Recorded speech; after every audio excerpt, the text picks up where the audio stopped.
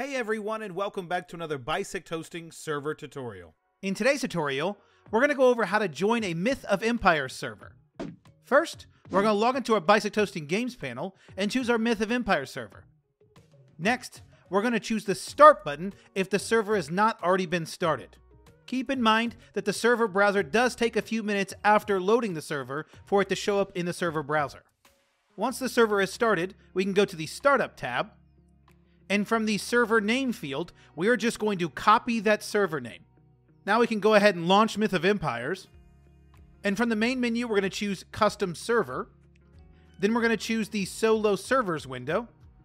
And in the search bar, we are going to either paste or enter the name that we copied from earlier. Once we've done so, we can find our server, choose Connect, and if the server is password protected, we can enter a password and click confirm, and we will have joined our Myth of Empire server. If you have any questions, check out our knowledge base, bisecthosting.com slash KB, or you can submit a support ticket on our website. If this guide was helpful, make sure you hit that like button, subscribe for more content like this, comment down below which guide you would like to see next, and we'll see you around.